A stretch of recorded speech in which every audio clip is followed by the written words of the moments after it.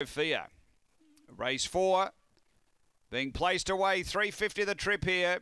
Straight track racing at the bridge. This is the second heat of the Cup. Light on, ready, Away, good speed. Bangor so fair in the initial part. Out quickly, he's all ours. Aston Alina getting busy now is going to take the lead. Then Meet Joe Black in behind them with Bangor Sophia, Love and Thunder and Max Ombre. But Aston Alina is nicely clear here over Bangor Sophia. It's bumping there with Meet Joe Black, but Aston is going to be too good. Aston Alina first, second Max Ombre along the inside, third Meet Joe Black, and then Bangor Sophia.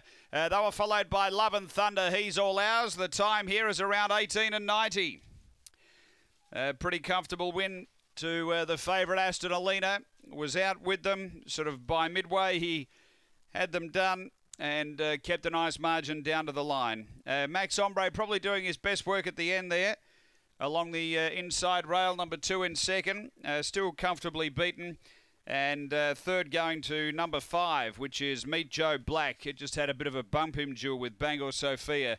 Numbers are seven, two, five, one fourth. 1890 is the run after uh, race number four here at Murray Bridge.